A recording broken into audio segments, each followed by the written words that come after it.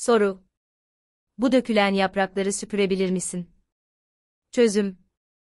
Kediyi fırça olarak kullanmaya çalış. Yatana kadar kediyi bir süre ovala. Yattıktan sonra yaprakları süpürmek için kediyi kuyruğundan sürükle. Bu videoları izlediğiniz için teşekkür ederiz. Daha fazlasını görmek istiyorsanız lütfen Go Answer kanalına abone olun.